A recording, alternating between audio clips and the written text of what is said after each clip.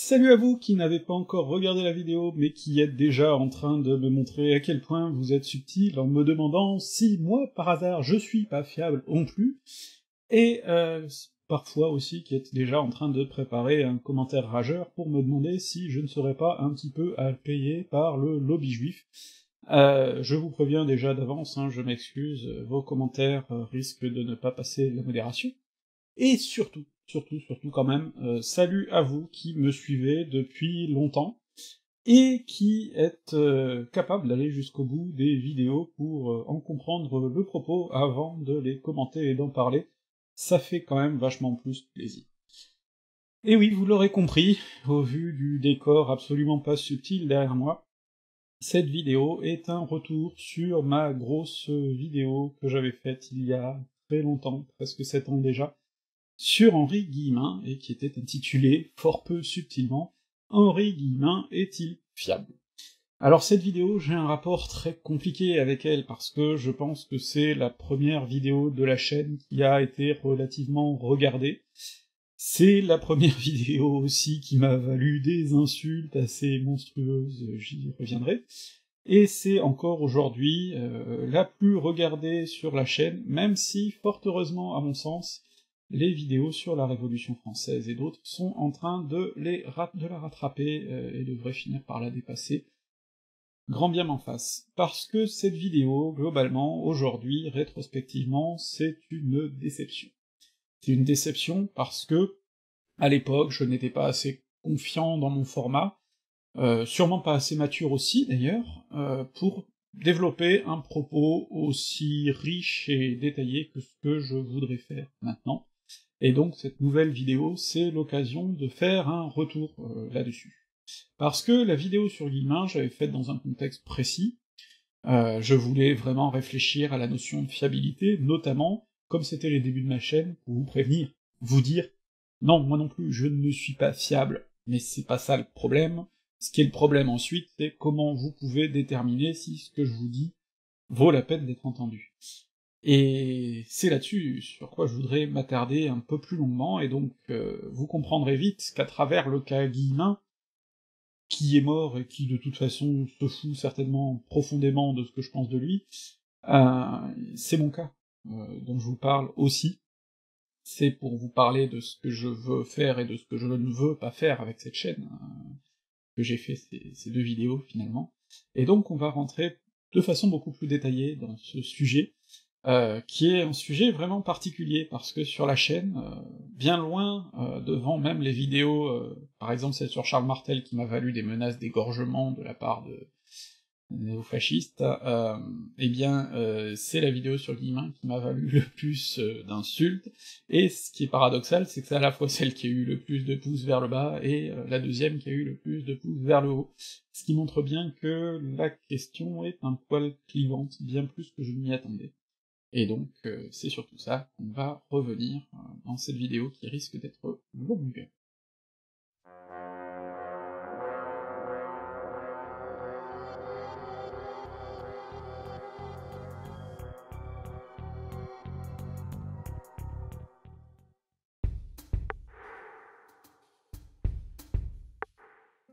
Pour commencer, il faut vraiment qu'on se penche sur cette question de la fiabilité. Parce que, d'ailleurs, la question qui m'a été posée par plein de petits malins, c'est pour ça que je blaguais là-dessus au début, du « Et toi, est-ce que tu es fiable? Ben, C'était justement le propos de ma vidéo initiale, c'était de dire que, finalement, euh, c'est pas aux gens qu'il faut se fier, il faut, se poser la question de la solidité de leur travail, et que même si quelqu'un dit des choses qui vous plaisent, eh bien, il n'est pas forcément fiable pour autant, en fait. Et c'est pas grave, euh, il faut peser, il faut réussir à déboulonner ses maîtres. Et d'une certaine manière, d'ailleurs, c'est ce qui explique les, réactions très polarisées à cette vidéo, puisque d'un côté, il y a ceux qui trouvent le message en très bateau, mais assez salutaire, euh, et puis il y a aussi, au contraire, ceux qui ne supportent pas qu'on déboulonne leur maître, hein, qu'on s'attaque à leur gourou, quel qu'il soit. Et donc c'était vraiment le, le, point sur lequel j'avais voulu insister. Mais ça pose la question de comment définir la fiabilité. Moi, c'est une question qu'on me pose souvent. Est-ce que machin, est-ce que truc est fiable? Que ce soit pour parler d'historiens vraiment sérieux ou pour parler de, gens beaucoup plus discutables. Euh, on me demande qu'est-ce que toi tu penses de machin? Et le problème, c'est que c'est une question à laquelle moi j'aime pas répondre, parce que ce que moi je pense de X ou Y n'a aucun intérêt. La question qu'il faut se poser, c'est dans quelle mesure le travail de quelqu'un est solide dans un contexte donné. Et pour ça, il y a tout un tas de questions qu'on peut se poser dans le cas d'un historien. Déjà, est-ce qu'il a une formation d'historien? C'est pas forcément un critère euh, incontournable, hein. il y a des historiens entre guillemets amateurs qui font un très très bon travail, d'érudition notamment.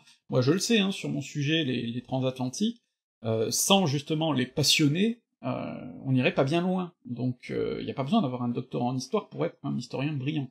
Simplement, c'est vrai que ça aide, parce que autrement, il faut rattraper un certain nombre de manques méthodologiques, etc. Justement, ça amène aux autres questions. Est-ce que telle personne qui vous parle d'un sujet euh, a été fouillée dans les archives? Alors là aussi, c'est pas une question exclusive, hein.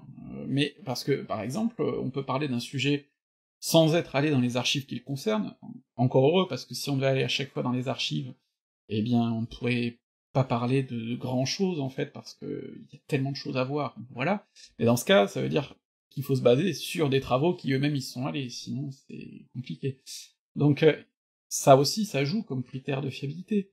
Euh, Qu'est-ce qu'en disent les pairs, les autres historiens Et puis, comment lui-même répond ensuite aux critiques? Parce que ça aussi, ça joue. Ça permet de savoir si on a quelqu'un qui se place dans le cadre de la controverse scientifique, qui accepte les critiques, les nuances, et qui répond sur le même plan scientifique, ou si on a quelqu'un qui, est critiqué, dit euh, Ah non, non, non, non, censure, censure, censure, on me censure, on... Voilà, euh, c'est pas du tout la même chose, par exemple. C'est tous ces points-là qu'il faut prendre en compte pour se dire, voilà, est-ce que cette personne est fiable? Et alors ensuite, en réalité, la question principale, c'est est-ce que son travail est fiable? Parce que, j'y reviendrai, mais euh, il y a tout un tas de gens qui peuvent être très fiables dans un domaine, et puis bon, bah, ils auront d'autres travaux sur lesquels ils seront beaucoup plus fragiles, voire carrément mauvais. Bon, et puis alors après, évidemment, hein, il y a ceux qui sont profondément mauvais surtout, ou plus exactement, parce que des fois on dit oui, mais des fois il dit des trucs vrais en parlant de tel ou tel euh, hurluberlu. Euh, oui, effectivement, hein, même Franck Ferrand ou Laurent Deutsch, euh, des fois, euh, bon, ils, disent la bonne heure, mais ça, même humain de casser le fait. le problème, c'est que il y a un moment où justement le rapport entre le déchet et le bon, euh, il est vraiment en, sa défaveur, et qu'il faut le laisser de côté. Donc, là aussi, c'est pour ça que je vous renvoie vraiment au, point de base qui est, il faut évaluer le travail des gens et se donner les moyens de comprendre s'il n'y a pas là quelques signaux d'alerte. Et donc, bah déjà, je pense que pour parler de ma propre fiabilité, justement, il faut réfléchir à ça. C'est-à-dire que, à quel titre moi je suis fiable? Je pourrais juste brandir mon étiquette de docteur en histoire, et vous dire, voilà, du coup, euh, trust me, I'm a doctor, hein. Euh, ça marche pas comme ça, ça marche pas comme ça. Bon, déjà parce que, si on précise, moi je suis docteur en histoire, qui a fait une thèse sur les transatlantiques, britanniques et français, entre 1890 et 1940. Voilà. Bon. Sujet quand même assez précis. Ce sujet-là, effectivement, je l'ai poncé je suis allé dans les archives, j'ai bossé plein de choses, et globalement, il y a de bonnes chances pour que vous ne soyez pas à la hauteur face à moi sur ce sujet. Je dis il y a de bonnes chances parce qu'il y a peut-être des gens parmi vous, hein, qui êtes passionnés par le sujet et qui savent plein de choses. Bon, voilà. Et là, sur ce sujet-là, effectivement, je suis d'une légitimité que je considère comme très solide. Ce qui veut pas dire d'ailleurs que j'ai pas mes points faibles à, à ce niveau-là, parce qu'en réalité, il y a toujours moyen ensuite de se spécialiser un peu plus. Typiquement, euh, je suis vachement plus spécialiste du naufrage du Titanic que de celui de la Bourgogne. Euh, je suis vachement plus intéressé par les aspects sociaux, euh, historiographiques par exemple, que par les aspects ultra techniques. Bon, voilà. Chacun son truc après dans, un domaine. Et c'est important de le signaler.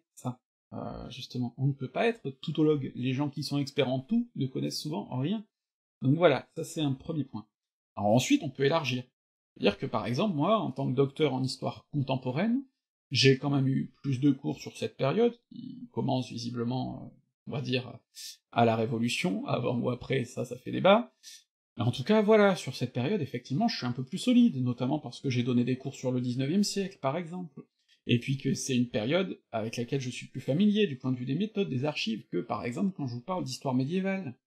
Donc là aussi, ça veut dire que, globalement, vous pouvez quand même plus vous fier à moi quand je vous parle du 19e ou de la Révolution, que si je vous mets, je me mets à vous parler de Moyen Âge, où là je risque plus de faire dans l'approximation, le contresens, parce que c'est moins mon domaine. Et donc, qu'est-ce que ça veut dire? Ça veut pas dire que je suis illégitime à parler de ça, sinon la vulgarisation serait impossible. Si on ne vulgarisait que les sujets dont on est spécialiste, on ne vulgariserait pas. Non, la vulgarisation, ça implique forcément d'aller vers des sujets qu'on ne maîtrise pas, et ça implique dans ce cas de se référer à des sources, à des gens qui, eux, maîtrisent leur sujet. Je ne parle même pas de sources directes, je ne parle pas de mentionner des archives, etc., puisque justement, je n'y suis pas allé dans les archives relatives à la Révolution, euh, à Vichy, etc. Mais du coup, ça implique de citer des gens qui, eux, les connaissent. C'est pour ça que quand je vous parle de Vichy, je m'appuie sur des gens comme Laurent Joly, comme Jacques Sémelin, qui ont passé leur vie dans les archives sur ce sujet, euh, et ainsi de suite. Bon, voilà. C'est comme ça qu'on élargit petit à petit les cercles de fiabilité. Inversement, bah ouais, euh, c'est sûr que euh, si vous suivez mon compte Twitter, par exemple, bah oui, là-dessus, mon avis est beaucoup moins fiable. Ça relève du propos de comptoir, beaucoup plus. Ça veut pas dire que des fois je dis pas des trucs intelligents, hein. Euh, je suppose que mes blagues sur Manuel Valls, par exemple, arrivent à un relatif consensus scientifique, parce qu'à peu près tout le monde déteste Manuel Valls, mais globalement, voilà, c'est ensuite beaucoup moins solide et intéressant. Euh, donc, il y a comme ça une hiérarchie de ce sur quoi on est légitime. Votre parole, ma parole, n'est pas légitime sur tout, tout le temps, partout, une question de contexte. C'est pour ça que par exemple je me refuse à faire des lives récurrents euh, ou du Twitch, parce que je considère que ce serait euh, vous faire croire que ma parole a un intérêt sur tout, qui n'est pas le cas. Ma parole a un intérêt sur les sujets sur lesquels j'ai bossé. Voilà, c'est ça que je veux vous dire à travers la fiabilité.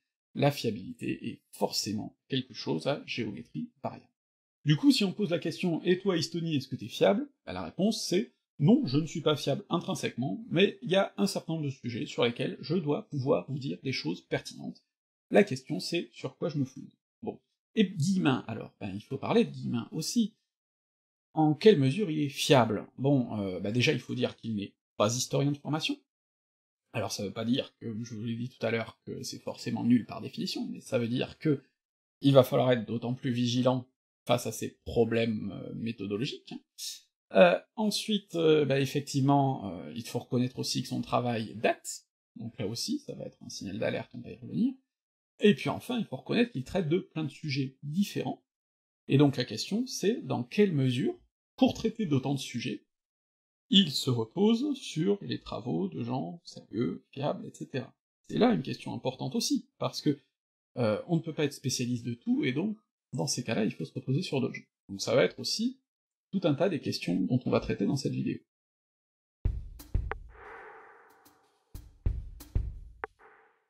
Alors Henri Guillemin est daté. J'ai dit ça dans ma première vidéo sur le sujet, et ça n'a pas plu à tout le monde. Mais c'est une réalité. Henri Guillemin est né en 1903, il est mort en 1992, c'était il y a 30 ans, forcément de l'eau a coulé sous les ponts depuis. Il a écrit une bonne partie de ses travaux et conférences dans les années 60 à 80. Eh bien oui, historiographiquement, on a franchi des gouffres depuis. Et ça, c'est très important, mais c'est valable d'ailleurs pour tout historien de cette période et d'avant, parce que l'histoire est une science en mouvement. Et ça, on va en reparler beaucoup d'historiographie dans cette vidéo, parce que le problème de Guillemin, et de ses fans surtout, c'est que souvent, les gens qui le suivent aveuglément ne savent pas comment on fait de l'histoire. C'est pour ça que j'ai derrière moi notamment le manuel euh, d'introduction aux études historiques, qui à mon avis est un outil formidable, en plus disponible gratuitement en ligne si vous voulez, qui vous explique comment travaillent les historiens aujourd'hui. Et ça c'est très important, parce que l'histoire c'est, comme toute science en fait, une discipline qui évolue en permanence. Les nouveaux historiens apportent de nouveaux éléments, critiquent ce qui a déjà été fait, et quand je dis critique, c'est pas dire ah c'est nul, c'est dire voilà, là machin dit que tant en s'appuyant sur telle source, eh bien moi, en comparant avec telle autre source, j'apporterai cette nuance-là. Ou machin utilise telle source pour dire telle chose, moi je suis allé fouiller la même source, et je n'ai pas du tout le même avis. Voire, dans les cas les plus extrêmes, machin dit qu'il y a ça dans telle source, je suis allé voir, je ne l'ai pas trouvé. J'en déduis que machin se fout peut-être un peu de notre gueule. Voilà, c'est ça, un débat historique. C'est pas juste dire, ah ben chacun son avis, non, il y a des éléments factuels. Quand euh, quelqu'un avance quelque chose sans le prouver, par exemple, eh bien, c'est normal que les autres scientifiques dans son champ disent, écoute, si tu nous dis pas d'où ça vient, nous, on peut pas en tenir compte. Voilà. C'est ça, une démarche scientifique, un débat scientifique. Et forcément, du débat scientifique, depuis 30-40 ans, il y en a eu. Mais en plus, je vous ai dit que Guillemin n'avait pas une formation d'historien, et ça c'est très important, parce que ça veut dire que l'image que Guillemin a de l'histoire, c'est l'image qu'il en a tirée notamment beaucoup à l'école. Et l'image qu'il en a tirée à l'école, ben, étant allé à l'école à peu près au moment de la Première Guerre mondiale, quand même, euh, il a dû bouffer du Lavis, hein. Euh, il a dû bouffer du Lavis, il a dû bouffer du Michelet. Sauf qu'au moment où il écrit et fait ses conférences et tout ça dans les années 60, 70, 80, euh, Michelet et Lavis, on en est quand même bien revenu. Déjà à l'école un petit peu, mais surtout historiographiquement, il y a des courants comme l'école des annales qui sont passés par là, et l'école des annales, c'est pas un titre de film porno, il y a deux N dedans, et c'est un courant, euh, notamment lancé par des gens comme Marc Bloch et Lucien Fèvre, qui réfléchit l'histoire en se focalisant pas uniquement sur les grands hommes et l'histoire politique, mais en s'intéressant aussi à des dimensions sociales, culturelles, économiques, à plein de choses, et donc on fait appel à tout un champ de l'historiographie. Euh, et on verra que Guillemin néglige beaucoup ça, parce qu'en fait, Guillemin, il, reste dans ce carcan un petit peu micheletien, c'est rigolo, parce qu'il passe son temps à taper sur Michelet, mais dans les faits, il, est outillé pareil, il ne pense que grands hommes, ou presque. Pour lui, tout n'est qu'action de grands acteurs qui bougent un petit peu leur pion dans un sens, dans l'autre, euh, Robespierre contre les méchants girondins, patati les masses, les phénomènes plus larges, les phénomènes culturels, etc., tout ça semble ne pas exister et donc il transforme finalement le roman des grands hommes en un roman noir des grands hommes, mais ça reste un roman des grands hommes. Et ça, c'est une façon de faire de l'histoire qui non seulement est datée aujourd'hui, mais qui était déjà datée en son temps. Donc ça, c'est déjà un premier gros problème. Ensuite, comme je vous le disais, le but du travail de l'historien, c'est de se faire revoir par ses pairs. Je prends par exemple un bouquin euh, crucial qui est La France de Vichy de Robert Paxton que j'étais en train de relire récemment. Euh, ce livre est sorti dans les années 1970, et il en a été fait une nouvelle édition en 97 où Paxton a écrit une longue préface d'une trentaine de pages dans laquelle il revient sur justement ce qu'il y a eu de nouveau depuis. Et notamment, il revient sur les critiques qui ont été faites de son livre, il dit, bon, bah, sur tel point, effectivement, j'étais pas allé assez loin, euh, d'autres gens ont plus creusé que moi, m'ont donné un petit peu tort là-dessus, etc.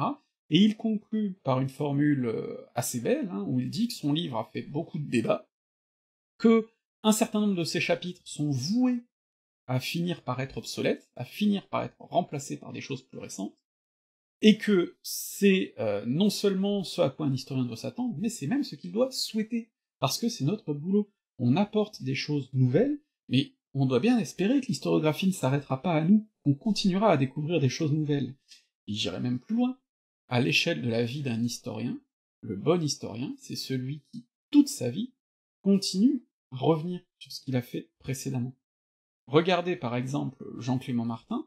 Bah, Jean-Clément Martin, le Jean-Clément Martin qui écrit en 2022, n'écrit pas du tout les mêmes choses que celui des années 80 il a évolué dans le temps. Ça veut pas dire qu'il euh, balaye tout ce qu'il écrivait avant, ça veut dire qu'au fur et à mesure du temps, il creuse, il discute, et puis qu'il y a des moments où du coup, ben, il finit par se dire, ah mais là, là quand même, il y a un truc, il faut avancer dessus. Et revoir comme ça ce qu'il écrit. Et puis, il s'enrichit aussi des travaux des autres. C'est ça qui, c'est ça le débat scientifique. On ne peut pas faire euh, une œuvre scientifique tout seul dans son coin. On apprend, on apprend en permanence. Là, par exemple, je travaillais à un livre sur le Titanic, si j'avais écrit uniquement euh, ce que j'ai toujours cru savoir sur le Titanic, sans lire ce que les autres en disent, sans le soumettre à la critique de mes camarades, etc., eh ben j'aurais fait des erreurs.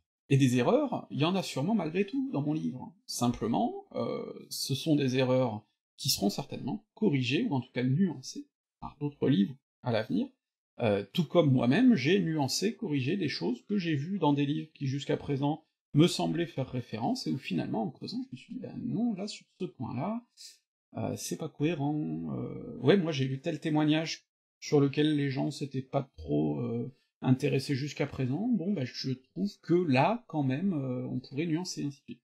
C'est ça, un travail d'historien. C'est quand on mélange. Or, quand on dit par exemple que Guillemin est indépassable, et qu'il ne faut surtout pas le critiquer, eh bien, de fait, l'exclut du débat scientifique.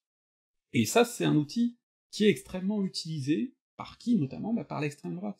Regardez tous les gens comme Bern, Deutsch, Ferrand. Ah, ça a pas plu à tout le monde quand je les ai mis un petit peu sur le même plan que Guillemin, mais il y a des similitudes, parce que Bern, Deutsch, Ferrand, ils s'appuient énormément sur une historiographie datée. Ils vont chercher Bainville, ils vont faire chercher des trucs comme ça, euh, Casali, il se masturbe limite sur le petit Lavis euh, en le rééditant, et ainsi de suite. On est vraiment là-dessus, dans cet attachement à une historiographie extrêmement datée, mais qui va dans leur sens, alors du coup, ben c'est là-dessus qu'ils s'appuient. Et puis il y a un déni du débat historique, je vous parlais de Paxton. Zemmour dit, il y a eu la révolution paxtonienne, et depuis tous les historiens sont aux ordres. Eh ben non, c'est pas comme ça que ça marche. Au contraire, il y a une révision permanente des travaux de Paxton, il y a des points où on dit, bah non, là par exemple, sur l'opinion publique, il déconne, euh, il va pas assez loin, il creuse pas assez bien. Et puis par contre, bon bah effectivement, son analyse de la collaboration, notamment vue depuis les archives allemandes, c'est solide parce que on a suivi ses traces, on est allé voir ses sources, et effectivement, ce qu'il dit est solide. Et donc pour l'instant, personne n'a réussi à bien le remettre en cause. C'est pour ça, il n'y a pas une doxa, si quelqu'un pouvait remettre en cause ça, il le ferait. Mais c'est pas comme ça que ça marche. Et donc, euh, le problème, quand on nie comme ça qu'il y a une évolution d'une œuvre, c'est qu'on arrive parfois à des contresens. Guillemin a le culte de la citation qui prouve tout, mais ça c'est un culte qu'on retrouve un petit peu à droite, où on va piocher telle ou telle citation de tel historien pour démontrer un truc. Par exemple, là, nos euh, ils aiment bien aller chercher une citation de l'historien Léon Poliakov, en plus ça les arrange d'autant plus que c'est un juif euh, qui a survécu à la persécution pendant la Deuxième Guerre mondiale, donc ça fait encore plus argument d'autorité pour eux. Ils vont chercher une citation de Poliakov qui dit euh, La survie des juifs doit en partie euh, au régime de Vichy ». Sauf que Poliakov, déjà, si on regarde son bouquin, la citation dans son contexte, elle est vachement plus nuancée que ça, parce qu'après il nuance, il dit bah oui, notamment du fait qu'il y avait plusieurs zones, etc., etc. Mais euh, il enfonce quand même déjà un sacré coup contre Pétain et contre euh, les dirigeants de, Vichy. Et d'autre part, parce que Poliakov, euh, il écrit cette citation en 51, et il est mort dans les années 90. Donc il y a eu pas loin de 50 ans pour reprendre ça, et pour le nuancer beaucoup. Et si on prend ses articles postérieurs, ses travaux postérieurs, eh ben on se rend compte que il est encore plus sévère vis-à-vis -vis de Vichy parce qu'il a découvert de nouvelles archives, parce que en 51, forcément qu'on ne pouvait pas tout savoir sur euh, la politique de Vichy. Donc voilà ce que je veux vous dire. Guillemin est daté, comme tout historien, comme moi ce que je vous raconte sera daté forcément dans quelque temps, et c'est normal, et c'est pas grave, en soi. Simplement, il faut en être conscient. Et il faut être conscient que du coup, fatalement, ça nuit à sa fiabilité. Et donc, quand vous étudiez quelque chose de daté, vous devez vous demander Qu'est-ce qu'on a découvert depuis Qu'est-ce qu'on en a dit ensuite? C'est tout court, c'est nécessaire. Et Guillemin ne fait pas exception parce que ce qu'il dit peut flatter ce que vous croyez. Et le problème, c'est que justement, ce recours à l'argument d'autorité, il est un petit peu trop constant chez les fans hardcore de Guillemin.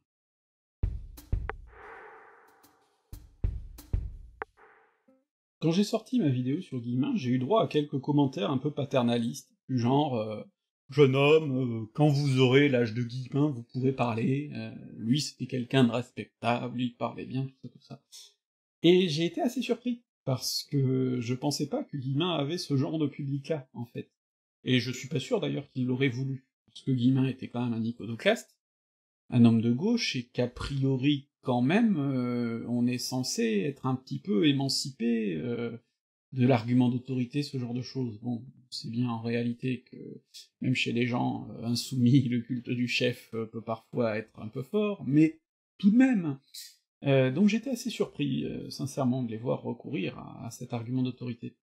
Mais en fait, en y réfléchissant mieux, c'est quelque chose que Guillemin a un peu cherché, et que moi-même j'ai un peu cherché aussi.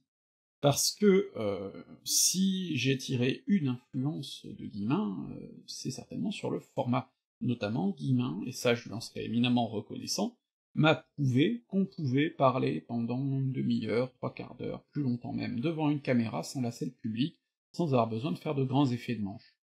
Et ça, c'est quand même quelque chose d'extraordinaire. Au-delà de ça, Guillemin, euh, comme moi d'ailleurs, parle depuis son bureau, avec sa belle bibliothèque derrière lui. Euh, bon, moi je vous ai épargné assez vite le plan bibliothèque, parce que maintenant tous les youtubeurs font ça pour faire sérieux, donc euh, j'ai arrêté mais je mets quand même derrière moi un certain nombre de livres qui m'ont servi de référence. Euh, ils sont rarement, pour ne pas dire jamais, choisis au hasard ou pour faire joli.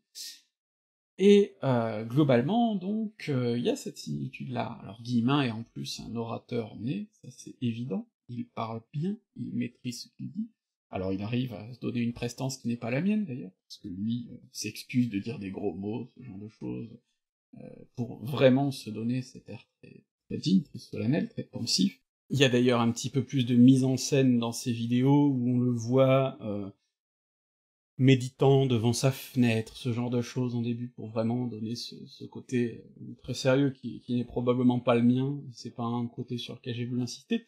Mais dans tous les cas, on a, je pense, l'un comme l'autre, par rapport à des youtubeurs qui font plus de blagues, qui mettent plus de mise en scène, tout ça, un côté austère qui, qui donne une impression de sérieux. Et ça, c'est quelque chose dont lui comme moi on a joué. Euh, sauf que moi j'ai essayé très vite de mettre un peu de nuance là-dessus et de vous dire ne me croyez pas sur parole, c'était d'ailleurs le but de cette vidéo sur Guillemin. Parce que le problème, c'est que ce côté argument d'autorité, justement, il peut avoir des effets extrêmement délétères. Déjà parce que, comme je vous le disais tout à l'heure, un historien n'est pas fiable en soi. Je vais prendre deux exemples. Prenez par exemple Johann Chapoutot, dont je vous ai beaucoup parlé. Johann Chapoutot est un immense historien du nazisme. Euh, son livre sur la loi du sang, par exemple, est euh, incontournable, et à mon avis fera très longtemps date. Euh, de la même manière, si on prend ses travaux sur l'impact de l'Antiquité sur la pensée nazie, là aussi on est sur quelque chose, je pense, qui sera longtemps indépassable. Mais à côté de ça, Chapoutot, bah, il lui arrivait de sortir des ouvrages euh, vachement moins solides. Euh, la petite biographie d'Hitler, par exemple, qu'il a faite avec Christine Grau, a été un peu plus critiquée. Plus récemment, quand il a fait son ouvrage sur les origines nazies du management, eh ben, euh, il y a des gens qui ont trouvé que c'était vachement plus bancal comme démonstration, et ainsi de suite. Eh ben, ça veut pas dire qu'il faut pour autant jeter Chapoutot à la poubelle. Ça veut dire que Chapoutot, il y a des trucs solides, il y a des trucs moins solides. Gérard Noiriel est un immense historien des classes ouvrières, de l'immigration. Et son travail, là aussi, a été pionnier sur ces sujets, et il y a encore des choses extraordinaires à lire là-dedans, euh, que ce soit son travail euh, sur les grèves, euh, notamment du côté de Longwy, il me semble, que ce soit son ouvrage Le Creuset français, ce sont des choses vraiment solides.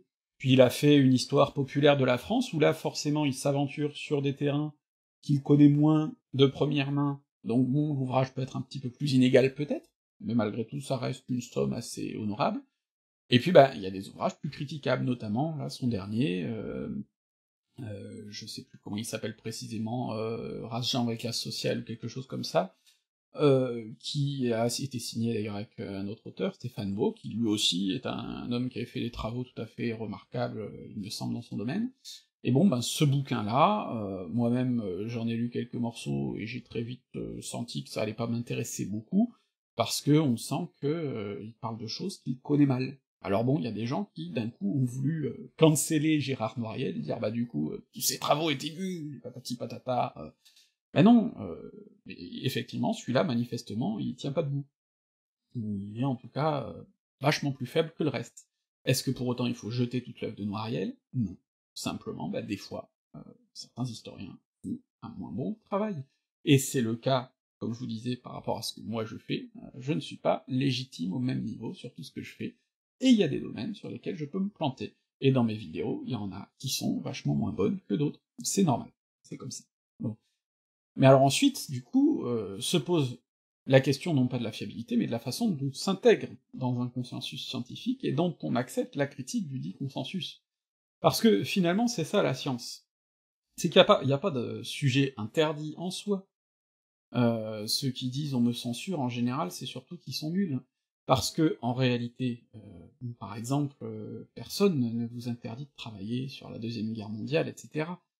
Comment si vous dites que les chambres à gaz n'ont pas existé, vu le nombre de preuves qu'on a du contraire, eh ben tout le monde va soude de vous, ou comprendre que vous venez avec de mauvaises intentions parler métaphoriquement, euh, si le consensus scientifique dit que le ciel est bleu, c'est pas une doxa. On va pouvoir en discuter ensuite. Euh, on va se demander euh, est-ce qu'il est bleu, mais dans quelle mesure? On va se demander pourquoi il est bleu. On va discuter, il y en a qui vont dire ah bah oui, mais quand il fait moche, il est gris. Mais globalement, ce que ça veut dire, qu'il y a un consensus scientifique, c'est que si vous débarquez en disant qu'il est rose à pois vert, eh ben vous avez intérêt à avoir de sacrés arguments en la faveur de cette théorie. Sinon, effectivement, on se fout de votre gueule. C'est ce qui se passe, par exemple, avec le débat que je trouve très intéressant de ce point de vue-là, du point de vue de la méthode, sur la localisation d'Alésia. Tous les historiens sérieux, les archéologues sérieux, disent qu'Alésia est à Alice, Rennes, parce qu'on y a trouvé énormément de restes archéologiques qui correspondent, on y a trouvé des restes archéologiques notamment contenant mention de d'officiers de César qui étaient là dans cette campagne, etc., etc. Bon, il y, a juste trop d'indices qui montrent que c'était là. Euh, je vous renvoie notamment à des podcasts très intéressants sur le sujet où vous trouverez tout un tas de, preuves. Et puis en face, ben, vous avez euh, des gens qui disent Ah ben non, non, non, moi je dis que c'était dans le Jura, bon, c'est Franck Ferrand, mais c'est d'autres avant lui, et euh, qui disent après Ah mais c'est les mandarins de l'université qui nous censurent. Eh ben non, c'est pas les mandarins de l'université qui vous censurent, les mandarins de l'université, ils vous demandent juste vos preuves, et vos preuves ne tiennent pas debout. Ce qui me ramène euh, à un discours qu'on entend beaucoup autour de Guillemin, parce que c'est aussi la défense qu'on va faire de Guillemin, celle que euh, était tricard de partout, que tout le monde l'attaquait parce qu'il était anti-système et patati patata. Et c'est pour ça d'ailleurs qu'il est récupéré par des gens pas recommandables, on, en reparlera. Sauf que euh, Guillemin, anti-système, ça se discute quand même. Alors d'ailleurs, je suis pas sûr que lui le revendiquait trop trop ouvertement, euh, mais peut-être que j'ai juste pas de souvenir du moment où il le dit. Euh, bon, Guillemin, il se positionne évidemment en redresseur de tort, et il oublie un petit peu tous ceux qui pourraient montrer qu'il n'est pas si subversif que ça, hein, mais euh, dans l'ensemble, je suis pas sûr qu'il se présente non plus comme une victime totale de censure, etc. Par contre, une partie de ses fans le font. Notamment, ils disent oui, il a dû s'exiler en Suisse, euh, on était attaché culturel à l'ambassade de France en Suisse, euh, comme mec, comment dire, totalement grillé, censuré, contraint à se planquer, il y a pire. il avait une émission de télé en Suisse, il a publié tout un tas de bouquins, euh, alors oui, effectivement, il n'y avait pas d'émission de télé en France, mais vous connaissez beaucoup d'universitaires de l'époque français qui avaient une émission de télé en France. Guillemin a eu, à son époque, une audience que énormément, la majorité, la grande majorité des chercheurs de son temps n'avaient pas. Euh, cherchez, je pense, n'importe quel chercheur de son temps sur YouTube, vous aurez pas autant de vidéos de Guillemin que Guillemin qui parle. Donc, euh, le problème, c'est ça, c'est quand on fait le portrait d'un Guillemin qui aurait été en permanence censuré, etc., ben, j'ai un peu le même ressenti que quand je vois certains guignols parler à la télé à longueur de temps pour dire qu'on ne peut plus rien dire. Euh, j'ai le même ressenti, là, et c'est quand même beaucoup une manœuvre dilatoire. C'est quand même beaucoup un moyen d'échapper à la critique, parce que quand on sort tout de suite le Joker, ah ben non, Joker, on me censure, on veut me faire taire, euh, on me critique parce que je dis pas ce qu'il faut, etc ben c'est un moyen d'échapper au débat historique. Euh, alors il semble que notamment euh, y ait recouru par exemple vis-à-vis de Régine Pernoud. J'irai y revenir, euh, Régine Pernoud qui apporte des arguments solides pour démonter son travail sur Jeanne d'Arc. Et en gros, Guillemin, il se planque derrière en disant on m'attaque, on m'attaque, euh, mais moi, oh, si on me dit que je fais de l'anti-histoire, j'en suis fier.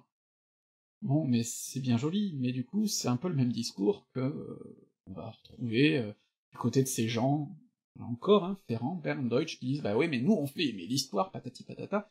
Ce qui est d'ailleurs un discours que j'ai aussi retrouvé chez les fans de Guillemin, je suis désolé de vous le dire, mais vous êtes très similaires à ceux de Bern et de Deutsch et de tout ça, parce que j'ai retrouvé ce fameux commentaire de genre, euh, bah oui, mais vous dites ça parce que vous êtes jaloux, euh, vous essayez de faire des vues sur son dos, etc. Bah figurez-vous que c'est exactement la défense de Bern là très récemment, quand on l'a critiqué parce qu'il faisait dire à des historiens ce qu'il voulait pas, enfin, le contraire de ce qu'il disait euh, dans ses émissions, et qu'il a dit en gros, bah ouais, mais ils sont bien contents de venir chez moi quand même, euh, et puis euh, sinon personne parlerait d'eux, et puis ils sont jaloux, et puis ceci, cela. Ben, je suis désolé, c'est le même discours, et il est condamnable dans les deux cas, en fait. C'est le problème. Et donc, en refusant de se poser sur ce terrain de la critique raisonnée, en se posant directement victime de censure, Guillemin et ses fans euh, empêchent de juger réellement son travail, et ça explique très probablement qu'on trouve peu de critiques vraiment euh, qui prennent la peine de s'étayer solidement, parce que c'est vrai en plus que pour les historiens, souvent ça relève un peu de l'évidence, donc on s'emmerde pas. à, vraiment détailler, euh, mais le fait est aussi que, de toute façon, on sait qu'il y aura un rejet frontal de toute nuance, de toute critique, donc c'est compliqué. Et ça aussi, euh, c'est un truc euh, pour lequel je dois être reconnaissant vis-à-vis de Guillemin. Parce que moi aussi, j'aurais pu adopter cette posture.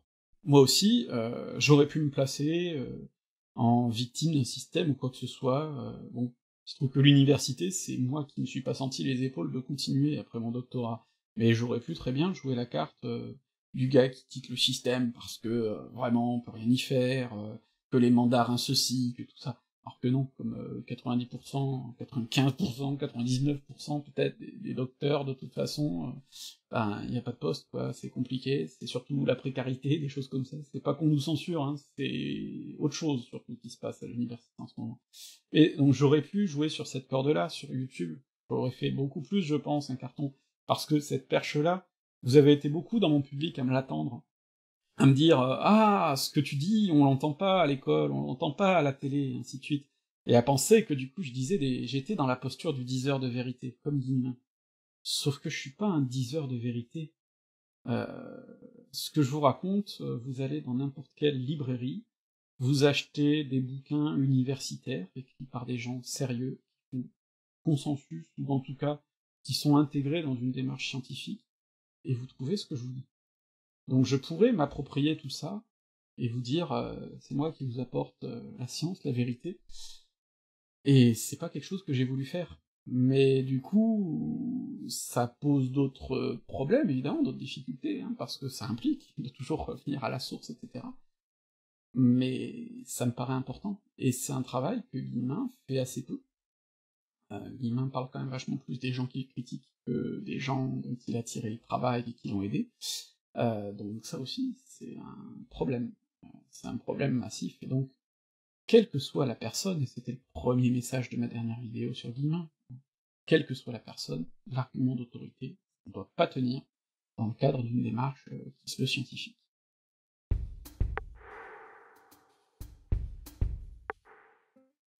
Alors il y a un point sur lequel ma première vidéo était particulièrement faible. Je m'attardais beaucoup sur une citation que Guillemin attribue à Voltaire sur un pays bien ordonné, et j'essayais de vous montrer qu'il l'a décontextualisé et qu'il l'a déformé un petit peu. Sauf que je tombais dans un double écueil. Euh, déjà, euh, le premier écueil, c'est que moi-même, comme je vous parle à l'oral et de mémoire, ben les citations, je les déforme. C'est pour ça que j'évite au maximum d'en utiliser. Et c'est pour ça que de plus en plus je vous rappelle que la source fiable par rapport à mes vidéos, ce qui doit vraiment faire foi de ce que je veux vous dire, c'est l'article que je joins en description. Parce que l'écrit, l'écrit, ça c'est solide. Et c'est aussi pour ça d'ailleurs qu'au maximum, quand je me suis attardé à critiquer Guillemin dans le détail, comme je l'ai fait dans un dossier euh, sur son livre Silence aux pauvres, ben justement je me suis attaqué à un livre. Et de la même manière, la critique à laquelle je me suis le plus intéressé, c'est celle de Régine Pernoud, parce que Régine Pernoud parle d'un livre. Un livre, on le relit, on le retravaille, etc. Et donc, Là-dessus, la critique est beaucoup plus facile que dans un propos oral, qui peut beaucoup plus facilement fourcher. Voilà. Donc ça, c'est le premier point. Effectivement, reprocher à, Guillemin de ne pas citer assez précisément les, citations à l'oral, c'est, bon, euh, une critique un peu facile. Le problème, c'est qu'il y a le même problème à l'écrit, hein. on va en, en reparler, mais les citations, il les déforme aussi, voire plus à l'écrit. Deuxième problème par rapport au contexte, c'est que ce sur quoi j'insistais pas assez, et d'ailleurs c'est pour ça qu'il y a des gens qui m'ont dit bah oui mais regarde, le contexte encore plus large, ça montre que finalement... Et ce que je voulais montrer justement, c'est qu'en fait, une citation, tout dépend du contexte, et le contexte, eh bien, tout dépend de là où on s'arrête finalement, et quelle est l'analyse qu'on apporte. Et euh, du coup, toutes les critiques qui m'ont été apportées par rapport à cette citation et mon analyse de cette citation renforcent finalement ce que je voulais dire au départ, et c'est comme ça que j'aurais dû le dire, une citation n'a pas et ne peut pas avoir caractère de preuve absolue en histoire. Et ça, bon, en fait, euh, si vous faites des études d'histoire, vous le savez, parce que le premier exercice qu'on vous donne en histoire, ou presque, l'exercice central sur lequel on vous forme, c'est le commentaire de document, le commentaire de texte. Et très vite, on vous répète, et on vous répète encore, qu'un commentaire de texte, c'est pas reprendre et reformuler le texte euh, pour redire la même chose, c'est le critiquer, le contextualiser, apporter une analyse parce que un document historique, quel qu'il soit, se contextualise et s'analyse. Parce que je vous en ai parlé notamment par rapport à mes témoignages autour du Titanic, eh bien, un témoignage ne dit pas forcément toute la vérité, rien que la vérité, il y a toujours un contexte, et ainsi de suite. C'est particulièrement vrai sur les sources euh, relativement littéraires que Guillemin utilise, qui sont des discours, qui sont des mémoires, des choses comme ça, qui sont forcément écrites avec un objectif. Et cet objectif, ça fait partie de la critique qu'on doit faire. Or, Guillemin, lui, euh, il le disait, il l'assumait, il se voyait comme un procureur qui cherchait des éléments à charge, et les citations, ce sont ces éléments à charge. Et ça, très vite, ça pose un souci. Euh, c'est pas le seul hein, euh, qui pose un souci de ce point de vue-là, et c'est vrai que son approche littéraire là-dessus joue beaucoup. Euh, par exemple, je vous parlais tout à l'heure du débat sur Alésia. Bon, Alésia, justement, le truc, c'est que les tenants de la thèse d'un Alésia dans le Jura, ce sont des gens pour qui la seule source qui compte, c'est la guerre des Gaules de César. L'écrit de César contiendrait toute la vérité, rien que la vérité, et donc, si la description de César ne correspond pas assez à Alice Sainte-Reine, c'est que du coup, le site qu'il a décrit, c'est dans le Jura. Et tant pis pour toutes les autres sources que j'ai mentionnées, l'archéologie, etc., etc., et surtout tant pis pour la critique. Franck Ferrand, par exemple, quand il parlait de ce qu'on lui reproche par rapport à sa citation de César, etc., il disait oui, euh, les historiens disent que bon, euh, il écrit pour le Sénat, mais euh, c'est pas si grave, etc., etc. Si justement c'est grave, parce que César, quand il écrit la guerre des Gaules, par exemple, il n'écrit pas une description topographique, il écrit un récit pour montrer ses exploits. Donc il cherche plutôt la théâtralité, il cherche plutôt à donner aux sénateurs des références qu'ils pourront comprendre, etc., euh, et pas du tout à faire une description précise, méthodique. Et donc, euh, une source, ça se commente. Une source, ça se critique. Et on ne peut pas, du coup, juste prendre une citation comme ça, la piocher et la mettre. Et le problème, c'est que Guillemin, en plus, il a vraiment, comme je vous disais, un réservoir de sources euh, assez limité. il se limite avant tout aux discours, aux mémoires, aux choses comme ça. Or, des mémoires, par exemple, on sait très bien que les mémoires des gens qui ont vécu la Révolution et qui écrivent des années après, ben forcément que des fois ils cherchent à se rattraper un peu le coup. Quand on écrit ces mémoires, on s'attend un petit peu à être lu quand même. On sait pas par qui, forcément. Mais souvent d'ailleurs on s'attend à être publié, et donc on réfléchit hein, en ce sens. Et ça, c'est quand même quelque chose qu'on apprend très tôt. Moi déjà, quand je faisais du latin en quatrième ou en troisième, on m'expliquait que les lettres de Cicéron, par exemple, eh ben, c'est pas des lettres qu'il écrit uniquement à ses amis, il s'attend à ce qu'elles tournent ensuite, et qu'elles soient publiées, et donc c'est pour ça qu'il les soigne, et ainsi de suite. Ah, c'est la même chose, il faut se demander pourquoi ça a été écrit, comment, etc. On peut pas juste prendre une citation, souvent en plus d'ailleurs chez Guillemin, c'est haché, c'est déformé, je vais en reparler, et puis lui dire, voilà, il a dit ça, donc c'est la preuve que... Surtout qu'avec Guillemin, c'est face je gagne, pile tu perds. Si la citation va dans son sens, voilà, il a dit ça, c'est la preuve que. Si la citation ne va pas dans son sens, il a dit ça, mais c'est un mensonge. Face je gagne, puis tu perds. Bon. Et euh, le problème, c'est que les citations et tout ça, il faut le remettre en perspective par rapport à d'autres éléments beaucoup plus factuels. Euh, Jean-Clément Martin, par exemple, souligne ça par rapport à la Révolution. Quand il parle de Robespierre, notamment, il dit il y a plein de gens qui prennent les discours de Robespierre au pied de la lettre, comme si Robespierre n'était pas un politicien, mais un homme qui dit forcément la vérité, le fond de sa pensée, etc. Robespierre, quand il prononce un discours politique, c'est un fin politicien, il sait où il veut aller. Et donc, ces discours politiques, eh bien, euh, c'est comme tout discours politique, on doit les commenter dans un contexte, les mettre en parallèle avec une action politique, parce que des fois, le discours va plus loin que l'action, des fois c'est l'inverse. Et donc, euh, pareil, une citation n'est pas euh, une preuve. Typiquement, euh, les tenants de la théorie du génocide vendéen tiennent absolument à reprendre le discours de Barère, détruisez la Vendée, détruisez la Vendée, etc., etc.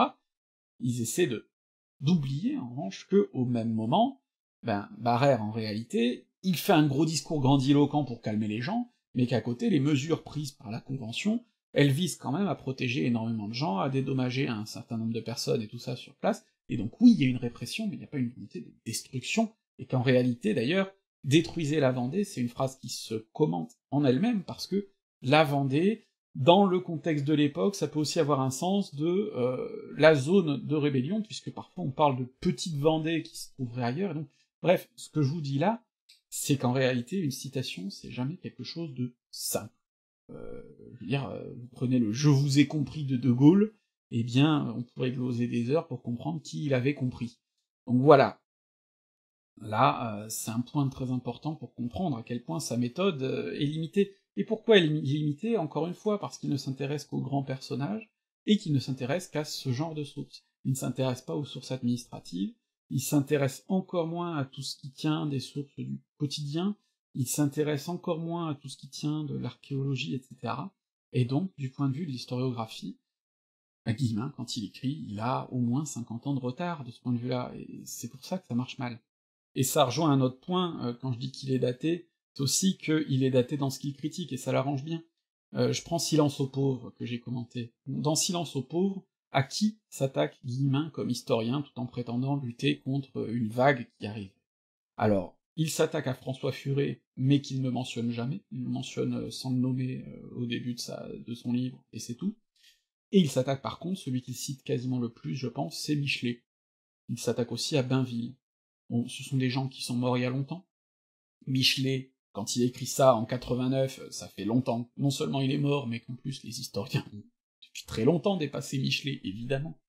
Bainville, c'est encore plus caricatural. Bainville, c'est un académicien d'extrême droite que globalement les historiens n'ont jamais pris vraiment au sérieux. Euh, parce que c'est voilà, c'est du berne avant l'heure, d'une certaine manière. Donc, euh, forcément, se créer un ennemi sur mesure comme ça, parce que c'est la tactique de l'homme de paille, bah c'est assez simple, hein, mais c'est pas rigoureux. Et autrement, quels historiens contemporains Guillemin cite Il cite rapidement Albert Soboul, qui a fait une thèse sur les sans-culottes de l'an 2, et donc euh, Guillemin cite cette thèse sur les sans-culottes de l'an 2 mais euh, juste pour lui faire dire de façon très caricaturale que les déchristianisateurs étaient tous des bourgeois, c'est un petit peu limité comme approche, et c'est sûrement pas d'ailleurs euh, aussi précisément ce que disait Soboul. Mais autrement, Guillemin ne mentionne pas du tout toute l'école historique de la Révolution française, qui à l'époque est très à gauche d'ailleurs, euh, pour une partie, pas l'école furétienne du coup, mais l'autre, euh, des gens comme Michel Vauvel, puis tous ceux qui sont dans la lignée de Soboul, tout un tas de gens qui font des travaux d'une qualité extraordinaire, il y a aussi tout un tas de francs-tireurs beaucoup moins politisés, comme Jean-Paul Berthaud, qui fait un travail extraordinaire sur euh, l'histoire militaire sur la Révolution, notamment, Valmy, ce genre de choses. Et euh, c'est pour ça que quand j'ai fait mon dossier sur Silence aux pauvres, bon, j'ai voulu être loyal vis-à-vis de Guillemin. Je me suis dit, je ne peux pas lui opposer des sources que moi j'ai et qui sont postérieures. Je ne peux pas lui opposer une historiographie qui date d'après 89. Par contre, je pense que c'est important de mettre en parallèle ce que lui dit et ce que euh, l'historiographie de son époque dit. Or, en 89, il y a par exemple Jean-Paul Berthaud qui publie une très très claire Révolution française que je vous conseille parce qu'elle est très facile d'accès, et il y a surtout ce que j'ai mis derrière moi, le dictionnaire historique de la Révolution française, qui réunit une dream team d'historiens euh, derrière Soboul, mais en fait Soboul il était mort depuis 7 ans au moment de la publication, parce que c'est un travail de longue, longue, longue haleine, euh, mais qui réunit énormément d'historiens, qui ne sont pas du tout de tendance furétienne, hein, les furétiens au même moment ils faisaient un autre dictionnaire, qui d'ailleurs est beaucoup plus daté justement de ce point de vue, et donc euh, ben moi j'ai voulu justement mettre tout ça en parallèle, et c'est fou, parce que euh, Guillemin, bon déjà ça permet de démonter un certain nombre des mythes qu'il apporte, et qui étaient déjà bien démontés à l'époque, mais surtout, quand il essaie de faire croire par exemple que toute l'historiographie de la Révolution serait euh, dramatiquement opposé à Robespierre, etc., etc. Ah bah oui, quand on cite Bainville, forcément. S'il s'était référé à tous ces gens-là, pas du tout. Pas du tout. Et c'est pour ça que moi-même j'ai eu affaire au même problème. Quand vous avez commencé à me dire par rapport à ma série de la Révolution, ah c'est quand même bien différent de ce qu'on apprend, etc. Mais en réalité, moi ce que je vous dis, les, les universitaires le disaient déjà il y a longtemps. Alors, évidemment, ça a été détaillé, étoffé, etc. Mais je veux dire, euh, le, Robespierre buveur de sang, euh, il y a un siècle, en fait, l'historiographie en est quand même bien revenue pour au moins un de ses pans, et que le consensus historiographique est quand même euh, bien stabilisé depuis déjà longtemps, et Guillemin, alors, soit il le savait pas parce qu'il avait mal bossé son sujet, soit il le savait, et il néglige tous ses travaux pour pouvoir créer son homme de paille, et se présenter comme le diseur de vérité, encore une fois. Et donc euh, là aussi, c'est pour ça que moi j'essaie de tenir vis-à-vis de vous cet engagement, de me tenir à jour sur l'historiographie et de vous parler d'historiographie récente, et de ne pas vous tromper, de ne pas profiter de votre méconnaissance de l'historiographie d'un sujet pour vous faire croire que je suis plus subversif que je ne le suis réellement. Bon, les faits, ce que je vous apporte, euh, historiographiquement parlant, ça casse pas trois pattes à un canard, hein, je suis pas un dissident, clairement. Euh, voilà.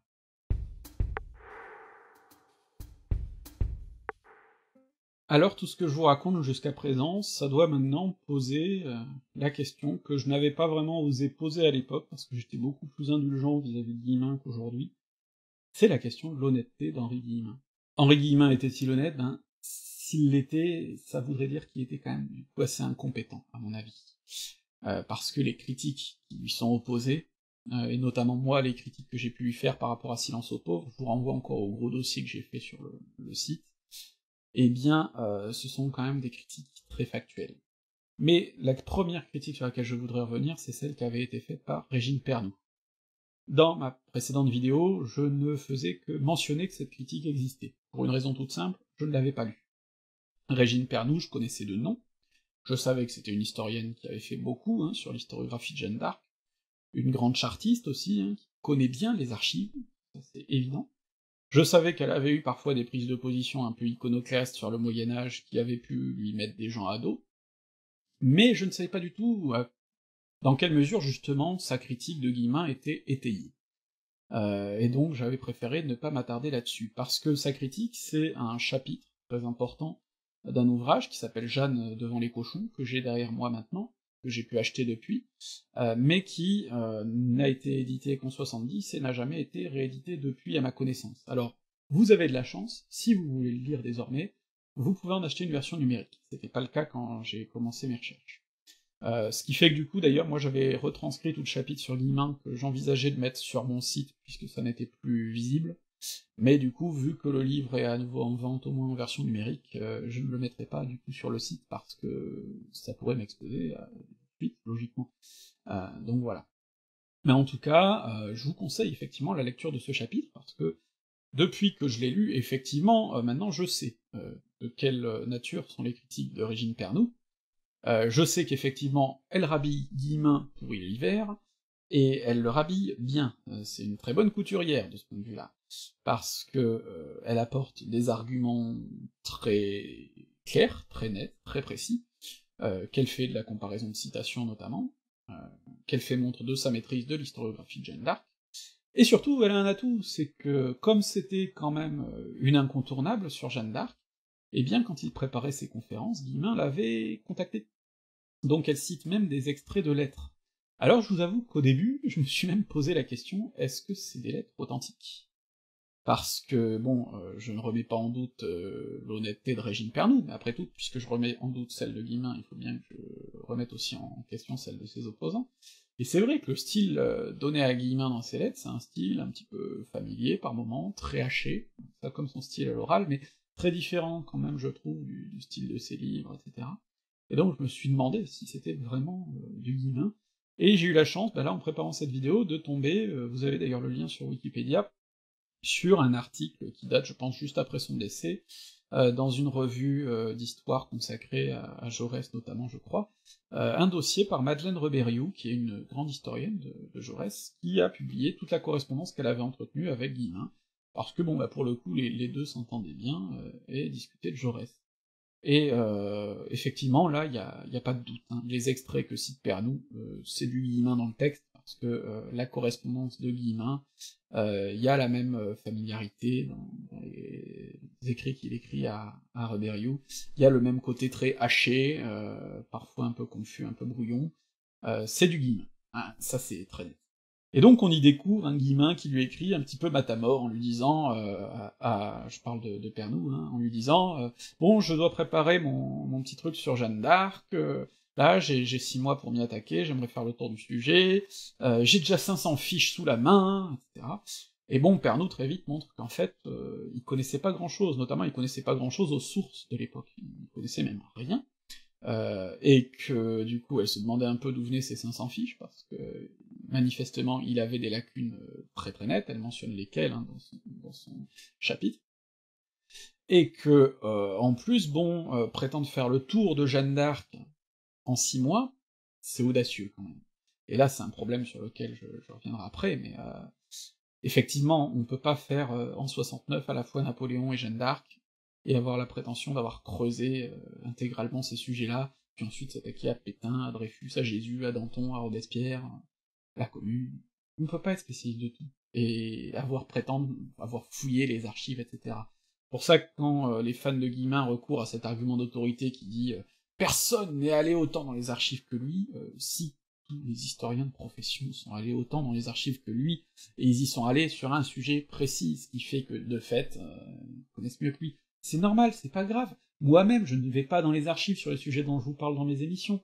Je suis conscient que si je voulais atteindre le niveau de maîtrise des historiens que je cite, eh, il me faudrait 15 euh, vies pour vous faire 15 vidéos, en fait. Donc, euh, ça n'est pas possible. Ça n'est pas possible. Bon. Et donc, effectivement, Guillemin a des lacunes monstrueuses quand il contacte Pernou. Alors, en plus, il y va avec ses gros sabots, il lui dit « Ne vous inquiétez pas, ne vous inquiétez pas, je suis pour Jeanne. » Alors Pernou euh, répond, mais le problème c'est que justement c'est ça qui m'inquiète, parce que Pernou est peut-être une historienne qui effectivement hein, euh, a un avis plutôt positif sur le personnage de Jeanne d'Arc, très nettement, euh, mais en fait elle considère que l'histoire c'est pas être pour ou contre, et d'ailleurs c'est révélateur de qui est Guillemin, on n'est pas pour ou contre Jeanne d'Arc, on est pour les faits, dit Pernou, et donc c'est ça qui intéresse, c'est les faits. Oh, Guillemin, voilà, manifestement, il est dans une autre démarche. Bon, puis elle montre que, en plus, euh, entre ce qu'il lui écrit dans ses lettres et puis ce qu'il dit dans le livre, il y a un gouffre. Parce que, par exemple, dans le livre, il mentionne le fait qu'il y a sûrement des choses cachées dans les archives secrètes du Vatican sur Jeanne d'Arc. Hein. On saura jamais vraiment, parce que c'est gardé, c'est secret. Euh, or bon, déjà, c'est un contresens énorme qui montre qu'il connaît rien aux archives du Vatican, parce qu'effectivement, les archives secrètes du Vatican sont longtemps appelées secrètes, mais c'est pas pour autant qu'elles le sont secrètes. Euh, ça veut dire privé dans ce cadre-là. D'ailleurs, elles ont changé de nom récemment pour euh, mettre fin à cette confusion. Bon, vous avez une très bonne vidéo de Nota Bene qui faite depuis le 19e siècle, on sait très bien ce qu'il y a dans ces archives, en tout cas pour ces périodes-là. Alors comme toute archive, effectivement, les sources euh, plus récentes euh, sont d'accès limité, voire interdit, mais ça, c'est valable des archives, en fait, hein. il y a des règles de ce point de vue-là de consultation. Euh, mais par contre, clairement, pour ce qui concerne Jeanne d'Arc, il n'y a pas de secret gardé aux archives du Vatican, non, faut pas déconner. Et, euh, et, ce qu'elle dit surtout, c'est que juste avant, euh, dans sa correspondance, Guillemin lui disait mais ils en ont des archives qui datent de l'époque, ça existe encore, ça, des archives du XVe siècle pour Jeanne d'Arc, pour le Vatican, etc. Et Pernou est sidéré parce que, bah, en fait, n'importe quel étudiant euh, de base en histoire sait que, bah oui, des archives du XVe siècle, on en a plein, en fait, c'est logique. Donc, euh, là aussi, euh, ça montre bien que Guillemin, bon, c'est peut-être l'homme des petits papiers, mais il les connaissait clairement pas tous. Et puis surtout, et c'est là qu'on rentre vraiment dans la malhonnêteté, euh, Pernou montre à quel point il déforme des citations. Il y a vraiment plusieurs, qu'elle met en parallèle, d'ailleurs elle montre les sources d'origine, et puis ce Guillemin leur fait dire, et c'est très parlant. Euh, il y a notamment un exemple où, bon, elle, elle dit, euh, voilà, la, source originale dans le, procès de Jeanne d'Arc, il y a un témoignage pour savoir si elle est vierge, et il y a une femme qui dit, euh, oui, je l'ai vue au bain et elle est tue plusieurs fois, et elle était vierge. Guillemin, lui, dans sa façon de traiter le truc, alors il en fait un truc limite érotique en disant, avec moult sous-entendus, quand elle est à Bourges, elle va plusieurs fois se détendre et se prélasser dans les bains. Pourquoi pas? Elle se livre avec plaisir aux mains expertes des masseuses, pourquoi pas? Il euh, y a quand même une nuance entre dire je l'ai vue au bain, elle était vierge, et, euh, elle se s'abandonne aux mains des masseuses, sous-entendre des expériences lesbiennes, etc. C'est du tout tout seul, c'est le jour et la nuit, quoi. Et il fait ça plusieurs fois. Euh, Pernod souligne aussi qu'il a une fâcheuse tendance à, présenter comme sensationnelles des révélations qui en fait n'en sont pas. Par exemple, quand il, dit euh, oui, euh, Jeanne ne s'est en fait jamais appelée Jeanne d'Arc à l'époque. Ben oui, en fait, les historiens le savent, oui, rien de sensationnel. Euh, quand il commence à, à gloser sur l'identité lorraine de Jeanne, là pareil, oui, effectivement, mais ça n'a rien d'inédit. Lui, il le présente comme novateur. Père nous dit, bah non, mais il y, y a, des trentaines d'articles sur le sujet, en fait. Et euh, bon bah ça c'est un point très clairement, ça renvoie à ce que je vous disais sur Silence aux pauvres. On oublie toute l'historiographie à laquelle on ne s'attaque pas pour se présenter comme le diseur de vérité. Donc ça c'est un gros gros gros problème. Et là je trouve qu'il y a un problème clairement d'honnêteté. Et alors, les critiques de Pernou rejoignent beaucoup ce que je disais. Alors il y en a une autre critique d'ailleurs, qui est que, par moment, euh, Guillemin manifestement invente. Pernou dit voilà, il y a des points sur lesquels nous autres historiens ça fait des années et des années qu'on cherche, qu'on ne trouve pas la réponse, euh, sur ces points précis, hein, des points chiffrés, des choses comme ça, et Guillemin, lui, il pose un truc, lui il a la réponse, il sait, mais il dit pas d'où il tient. C'est un autre problème. Et d'ailleurs, elle cite euh, un autre cas, puisque ben, au moment où elle euh, Guillemin publie sur Jeanne d'Arc, il vient de publier sur Napoléon, il écrit beaucoup sur Napoléon, puisqu'on est au moment du bicentenaire de la naissance, hein, du petit Corse, et euh, il se trouve que euh, aux archives nationales, je crois, où Pernod travaille, ils sont en train de préparer une exposition sur Napoléon. Et avec son collègue, ils sont très emmerdés, parce que ils lisent des articles de Guillemin sur Napoléon, ils se disent merde, où il va chercher tout ça? Et euh, eux, qui ne sont pas experts en Napoléon, ils ont convoqué des experts pour euh, expertiser leur, leur euh, exposition, hein, comme on fait dans ce genre de cas, on a un comité scientifique, donc ils ont sept, je crois, experts de Napoléon qui sont censés leur apporter leur expertise, des sources, etc. Et quand ils disent, mais est-ce que ça, vous, l'avez déjà lu? Est-ce que vous savez d'où ça vient, telle citation, tel truc, où est-ce qu'il a trouvé ça? Ces experts, on ne comprend pas, on sait pas d'où ça vient, on ne l'a jamais trouvé. Et euh, effectivement, bon, notamment dans sa série sur Napoléon, on sent bien qu'il y a des trucs, hein, on se demande bien d'où ça vient, parce que personne d'autre les a jamais mentionnés. Et j'ai eu le même problème quand j'ai traité du cas de silence au pauvre, parce qu'il y avait des citations, je me disais, c'est formidable, mais j'aimerais bien savoir d'où ça vient. Et Guillemin ne nous dit pas d'où ça vient, il est souvent très vague. Et euh, comment on fait quand on ne sait pas d'où vient une citation ben On cherche sur Google. Et sur Google, euh, on tape la citation entre guillemets, évidemment, et on se rend compte qu'on ne trouve que quoi? Eh bien, des sites qui renvoient à Guillemin. Donc déjà, là, on a un raisonnement circulaire. Alors après, ça veut dire qu'il a cité approximativement. Donc du coup, il faut chercher les expressions parlantes dans la citation. Parce que, évidemment, on va pas chercher euh, tous les mots, mais par contre, on peut trouver euh, un morceau de citation qui, a priori, est quand même suffisamment inédit, iconique, pour nous ramener à la citation originale. Donc c'est ce qu'on cherche. Et là, on arrive sur Google Livres, quand on a de la chance, hein, parce qu'il y a des fois on trouve juste rien, et c'est mystère pour savoir d'où ça vient. Mais d'autres fois, on arrive sur Google Livres, et on trouve des vieux bouquins où effectivement, euh, il y a une citation qui ressemble. Mais des fois, c'est complètement falsifié. Des fois, il a coupé un morceau, et alors quand on prend la citation complète, ça veut dire tout à fait autre chose. Des fois, il lui fait dire l'inverse de ce qu'elle veut vraiment dire. En fait, euh, Guillemin, il cherche juste la belle citation qui va l'arranger, et puis bon, ben, il balance ça comme ça. Et comme je vous ai dit en plus, euh, avec tous les problèmes que ça pose, hein, du point de vue des citations.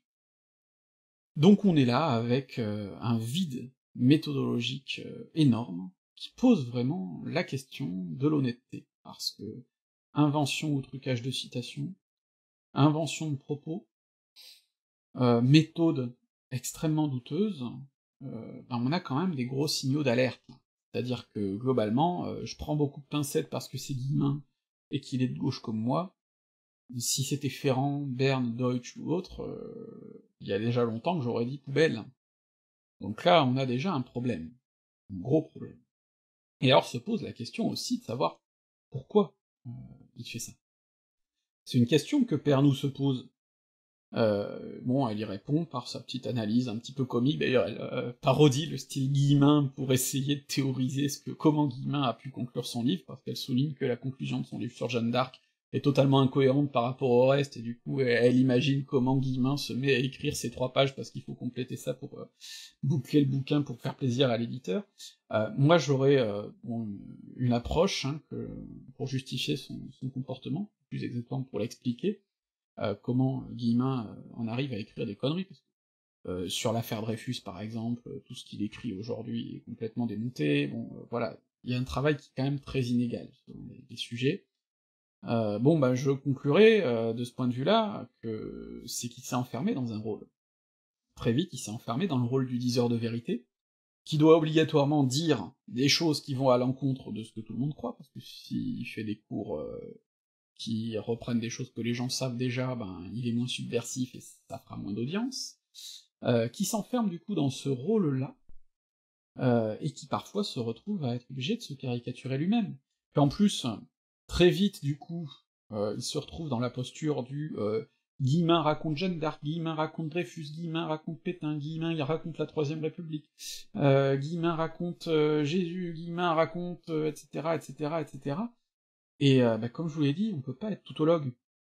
Alors, s'il faisait uniquement de la vulgarisation, comme je la fais, comme peut la faire par exemple Benjamin avec Nota Bene, en disant voilà, on va s'appuyer sur les recherches des spécialistes récents et leur donner si possible la parole, eh bien ce serait tout à fait différent, ce serait très honorable de traiter plein de sujets. Par contre, s'il faut le faire à chaque fois sous l'angle de l'histoire un petit peu complot, de l'histoire un petit peu secrète, à chaque fois trouver des vérités cachées, eh bien oui, dans ce cas-là, on fait de la merde. On fait de la merde, obligatoirement. Et je, d'une certaine manière, j'ai un peu de compassion pour Guillemin, parce que j'ai l'impression qu'il s'est piégé dans ce rôle. Et encore une fois, on m'a reproché de comparer Guillemin à, Deutsch, Ferrand, Berne et tout ça, mais euh, Guillemin et Ferrand, là, pour le coup, c'est tout à fait le même euh, piège, euh, pour des idées différentes, avec des objectifs différents, très certainement, mais il n'empêche que, euh, quand Ferrand saute sur toutes les thèses alternatives qui bougent, Alésia dans le Jura, Molière a pas écrit ses pièces, c'est Corneille, sur l'affaire Dreyfus, on n'est pas sûr de tel truc, euh, Napoléon peut être empoisonné, euh, euh, Troyes peut-être en Angleterre, etc., etc., etc., et qu'à chaque fois il saute sur des trucs, euh, ben c'est la même chose en fait. On se spécialise dans l'histoire secrète, l'histoire complot, et du coup on est bien obligé d'aller dans cette course en avant. Et là aussi, euh, je dois être reconnaissant à Guillemin d'une certaine manière, parce que j'ai fait le pari inverse notamment justement parce que je me suis très vite rendu compte que je voulais pas aller dans le même sens. Et notamment parce que je me suis très vite rendu compte que si je ne voulais pas aller dans le même sens, et si je ne voulais pas vous abuser, il fallait que je mette en avant les chercheurs sur lesquels je m'appuie. D'où le fait que j'essaie de les mentionner aussi fréquemment que possible dans mes vidéos, d'où le fait que j'essaie de mettre leurs livres en avant, d'où le fait que, systématiquement, vous avez des conseils bibliographiques dans les articles qui accompagnent mes vidéos. Parce que pour moi, c'est le meilleur moyen de se prémunir contre cette dérive parce que autrement j'aurais pu devenir moi aussi un gauchiste déboulonneur de grande statut, euh, je parle métaphoriquement ici, euh, dans mes vidéos, euh, vous dire ce qui flatte finalement vos idées. Alors évidemment, j'aurais encore plus restreint mon public peut-être de ce point de vue-là, mais par contre j'aurais sûrement créé encore plus d'engagement du point de vue du public, et on, sait bien à quel point bah, ce genre de choses sur YouTube marche très bien, il suffit de regarder le YouTube de l'extrême droite où là aussi euh, on crée de l'engagement massif euh, vis-à-vis d'une petite minorité radicalisée, et puis après euh, bah, c'est la fête notamment quand on veut se faire du pognon, hein. donc j'aurais pu très clairement lancer un business là-dessus, que j'ai pas voulu faire, mais c'est aussi parce que j'ai pris conscience justement du danger qu'il y avait du côté de Guillemin. Et il faut dire que j'ai eu des signes d'alerte très importants quand j'ai sorti ma première vidéo sur le sujet. Et c'est sur ça que je voudrais conclure cette vidéo.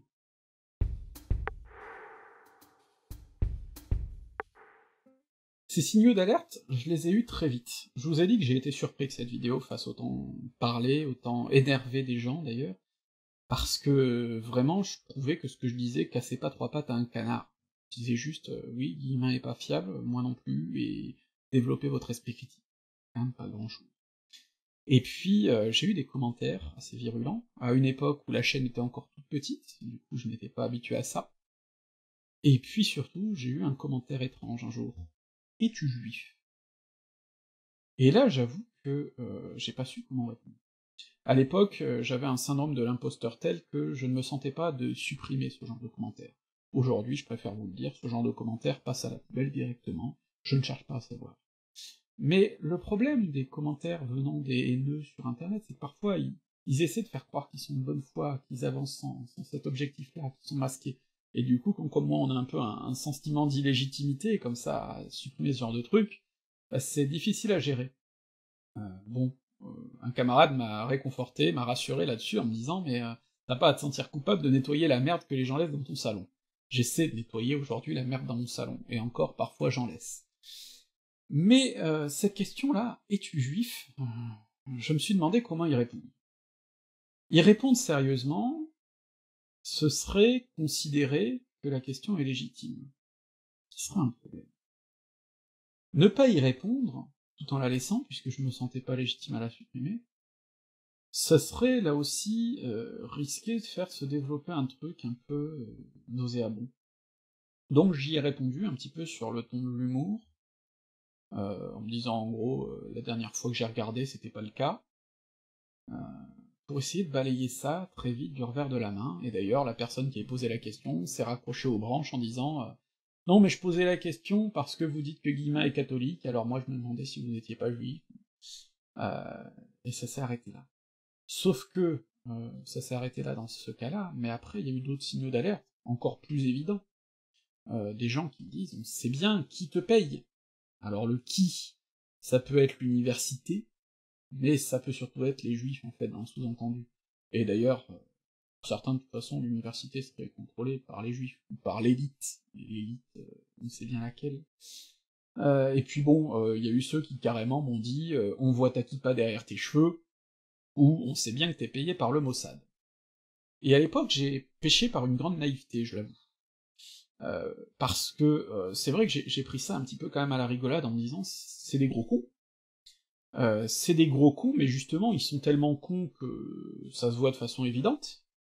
Euh, et puis, euh, c'est vraiment la minorité de crétins actifs. Et plus le temps a passé, plus je me suis rendu compte que c'était pas une minorité de crétins actifs. La preuve, les mêmes, on les retrouve actuellement dans les manifs anti-pass avec des banderoles qui et des juifs aux doigts crochus. La preuve, les mêmes, on les retrouve dans tous les milieux conspirationnistes là autour du Covid ou d'autres choses. La preuve, même dans des soirées contre la réforme des retraites à l'université de Nantes, on a pu trouver des banderoles avec une grosse étoile de David et une allusion au complot juif, euh, dans l'indifférence relativement générale. Et donc, euh, oui, j'avais péché par euh, naïveté, parce que moi-même n'étant pas exposé à l'antisémitisme, hein, clairement, eh bien, je partais du principe, ayant eu une éducation que je considérais comme décente, euh, ayant appris très tôt justement ce qui s'était passé pendant la guerre, le génocide, et que c'était mal, évidemment, et ça me paraissait relever de l'évidence, ayant appris très petit que le racisme c'est mal, fait, euh, je, pensais vraiment que, euh, du point de vue de l'antisémitisme, on avait quand même, voilà, franchi un cap, et que c'était globalement derrière nous. Alors évidemment, toutes ces histoires m'ont forcé à revoir mon jugement, et c'est pour ça que de plus en plus je me suis intéressé à la question de l'antisémitisme de gauche, et que cet antisémitisme de gauche, je vous en ai parlé plusieurs fois dans mes vidéos récemment, quand je parlais de Vichy, euh, quand je parlais aussi du Titanic nazi par exemple. Et euh, bah d'ailleurs, j'ai eu des commentaires disant euh, Mais non, mais l'antisémitisme ne peut pas être de gauche, puisque la gauche, forcément, par définition, c'est l'ouverture, etc. Et très vite, en fait, quand on répondait des exemples concrets, le mec finissait par dire Ah oui, non, mais le problème de toute façon, c'est qu'à l'heure actuelle, les juifs sont de droite. Ce qui en soi est une posture antisémite.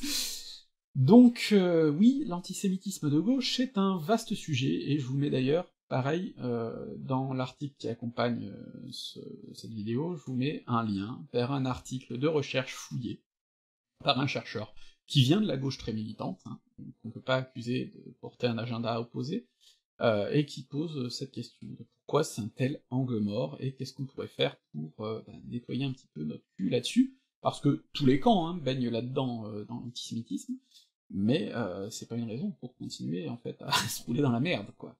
Donc il va falloir s'attaquer très sérieusement au problème. Et donc, bah, moi vraiment, si j'ai été sensibilisé à cette question, c'est par cette affaire-là, Guillemin. Pourquoi? Parce que moi, je, je, ne pense pas que Guillemin soit un antisémite. Euh, je suis convaincu qu'il ne l'est pas. Alors après, évidemment, euh, la définition d'antisémite est très large. Euh, il s'agit de dire est-ce qu'il a des clichés antisémites en lui? Oui, moi aussi. Tout le monde, en fait. Mais est-ce que c'est un antisémite militant? Non, c'est évident.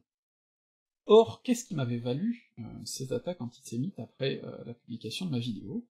Il y a une petite phrase anodine le fait que je mentionnais en passant est comme un point qui pour moi était vraiment très anecdotique à l'époque, que Guillemin était récupéré par des gens comme Chouard, qui est clairement pas au clair hein, sur les questions de choix, il faut être honnête là-dessus, euh, comme Marion Sigaud, qui vient là clairement de l'extrême droite conspirationniste ultra-catholique, et antisémite, et comme Alain Soral. Et là aussi, l'antisémitisme d'Alain Soral n'est pas à démontrer. Alors, pour moi, à l'époque, c'était juste une petite curiosité. C'était juste, c'est bizarre, il est récupéré, euh, mais ça me paraît pas cohérent. Parce que, euh, Guillemin, comme je vous dis, catholique social, très engagé à gauche, pas communiste pour autant, enfin, très engagé à gauche, a priori, euh, je ne le vois pas euh, donner sa caution à ces gens-là. Euh, je ne pense pas hein, qu'il aurait approuvé d'ailleurs cette récupération. Mais là, c'est faire parler les morts, j'en sais rien. En tout cas, moi, c'est quelque chose qui me posait problème. Qui me posait problème d'ailleurs parce qu'en plus ça créait des, porosités un peu curieuses. Hein. On trouve du coup quelques universitaires de gauche un peu trop indulgents vis-à-vis des défaillances de Guillemin, à mon avis, qui se retrouvaient à participer à des colloques aux côtés de gens ouvertement conspirationnistes. Euh, et là, c'est quand même très vite un, souci, et c'est pour ça que je crois que la critique de Guillemin à gauche est essentielle, hein, vraiment, euh, si on veut pas finir par euh, rejoindre des, gens douteux. Mais alors, pourquoi ces récupérations? Bon, déjà, je crois que la posture hein, du chercheur plus ou moins 10 heures de vérité et censuré parle beaucoup, évidemment, à cette extrême droite conspirationniste. C'est d'ailleurs un phénomène assez curieux. Je vous disais tout à l'heure, Guillemin, c'est quand même quelqu'un qui a euh, été euh, plébiscité par beaucoup de monde, hein, je veux dire, Mitterrand l'aimait bien, aujourd'hui dans la presse on a des articles qui en parlent dans la grande presse, hein, c'est plus du tout quelqu'un de subversif, euh, toutes ces vidéos sont sur le site de la radio-télévision suisse, sur YouTube, il a eu son émission de télé, et comme je vous ai dit, c'était quand même pas le cas de tout le monde. Euh, ses livres ont été maintes fois publiés et réédités. Là aussi, c'est quand même... Euh, voilà, quoi, c'est pas quelqu'un qui peut se plaindre d'être censuré. Et euh, bah, je trouve que il y a une similitude là, pour le coup, avec par exemple un Didier Raoult, qui a été promu à sa place finalement par la télévision, qui a été financé par des politiciens de longue date, qui est resté à sa place malgré tous les scandales qui datent d'avant le Covid, euh, sur ses méthodes, sur tout ça, qui aurait dû le faire sauter, mais il avait les liens politiques pour rester. Même Macron est venu le voir pour lui demander conseil alors que tous les chercheurs sérieux savaient qu'il faisait de la merde et qu'il disait de la merde. Et il arrive quand même à se présenter comme un homme qu'on voudrait faire taire, qu'on voudrait censurer, dans des livres qui sont publiés par des grands éditeurs et à des quantités d'exemplaires faramineuses, et les gens croient à ce, ce récit-là de l'homme pourchassé, censuré, etc. Et euh, d'ailleurs avec la même déférence vis-à-vis de Raoult, qui serait le grand monsieur Raoult, euh, que euh, la déférence qu'on va avoir vis-à-vis de Guimain quand on dit mais lui c'est un vieil homme qui sait des choses, quand vous aurez la même expérience. et ça je trouve que c'est intéressant parce que les complotistes qui croient que tout le monde leur ment, et qu'il y a des liens occultes partout, refusent de voir les liens prouvé, réel, évident, transparent de euh, leurs idoles. Je trouve que c'est intéressant. Je trouve que c'est très intéressant et très rigolo.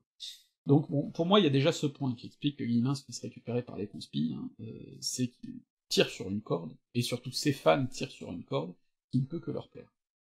Mais au-delà de ça, eh bien, il bouffe à des râteliers conspis, en fait, et du coup, il y a un certain retour aux sources. Euh, il a notamment été relevé que Guillemin, dans son récit, euh, notamment euh, de 1940 et avant ça surtout de la défaite de 70 par exemple, où il a cette théorie que finalement les élites d'argent complotent la défaite de la France pour maintenir l'ordre social et leur position, ben ça vient notamment d'un écrivain d'extrême droite des années de l'entre-deux-guerres, Baudelomeni, que vous pouvez aujourd'hui hein, trouver cité euh, avec enthousiasme par euh, tout ce que l'extrême droite compte de plus conspirationniste.